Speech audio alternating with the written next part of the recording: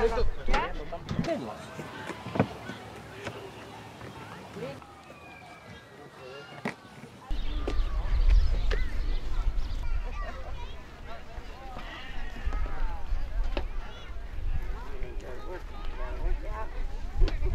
Hoy vamos a hablar de un tema muy bonito que acerca de las calabazas. Durante este tiempo que es el Halloween o Noche de Brujas, nos vemos impactados con una gran cantidad de comida chatarra, incluyendo los dulces que se proveen durante las fiestas del Halloween. Ah, también vemos que hay muchas calabazas y estas se terminan en la basura. Entonces aquí por medio de nuestras clases de FNEP estamos enseñando a nuestros participantes a utilizar estas calabazas no solamente en sus decoraciones para el Halloween, sino también utilizarlas para sus recetas que pueden ser parte de su dieta diaria. Les vamos a mostrar tres recetas.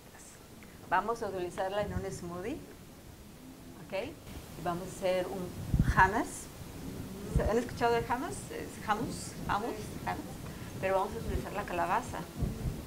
Y vamos a, ya hicimos una sopa de calabaza que todos van a tener la oportunidad de probar. Ahora sí vamos a moler esto para ver cómo nos va a salir lo que se llama el hummus de calabaza.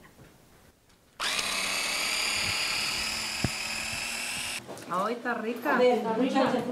la granola. Perdón, me decían Esas calabazas, como les digo, les van a dar bastantes nutrientes, es saludable, ah, no cuesta tanto dinero y podemos también ah, enseñarles a los niños que no tenemos, que desperdiciar la comida, que no debemos desperdiciar la comida, porque todo esto son, es comida.